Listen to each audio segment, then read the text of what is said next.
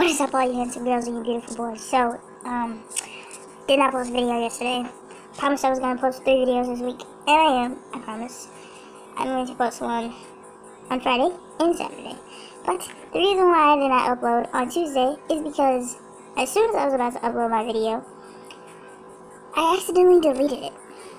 And you know, the fucked up part is, guys, by the way, was not digging in my nose, okay? I simply had an itch on the inside of my nose. Had an itch it very briefly. Do not come for me, okay?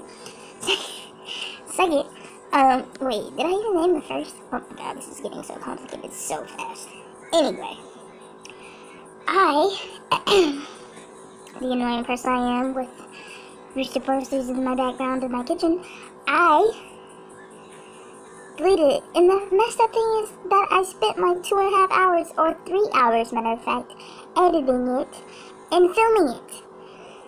And I deleted it by accident. Okay?